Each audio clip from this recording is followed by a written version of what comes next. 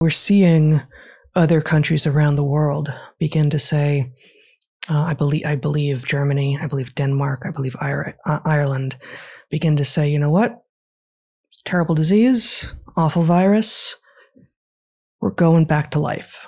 We're we're going back to normal life uh, because we feel that we've done what we can do.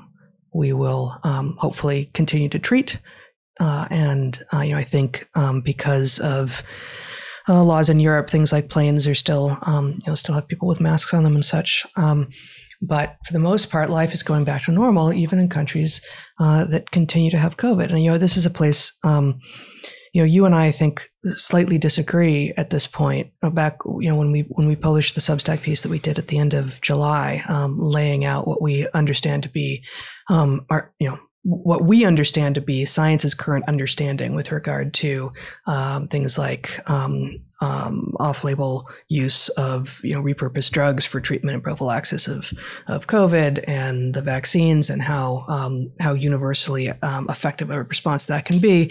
Um, we said, and I think even the title of the piece was. Uh, you know, we ha- we have to we have to get rid of this virus. We have to eradicate have to drive it, it extinct. Yeah. We have to drive it extinct, and I'm no longer convinced this is possible. Um, I am I am convinced, and um, I I think I will remain convinced that it was possible. That it was possible, and it was possible for a very long time, and that we didn't do it. And it's not because uh, some part of the population refused to comply. It's because um, our policies were bad. Um, but uh, given that it looks like it is an ever more impossible target to actually eradicate this thing, and that we do live uh, with um, you know far worse pathogens, things like things like rabies, things like yellow fever. And it's not that those that that I'm not saying I like those things, right, or that I think that we should encourage them, but that we live with them. Uh, with plans in place to prophylax if we can and to treat and to vaccinate if it's possible. And um, you know the countries that are saying enough is enough uh, are well let's you know let's see how how it works for them. But uh, so far so good. Yeah I, I think in some sense the question about whether it is possible to drive it extinct has become politicized. And like it's not even possible to know the answer because the data stream is so dirty. Right. And yeah. you know i'm not saying i'm convinced it's possible. I, I am convinced yeah, oh, I it was possible. Yeah. i have seen nothing that tells me it isn't possible. In general the arguments that people marshal that suggest it isn't possible are not good arguments.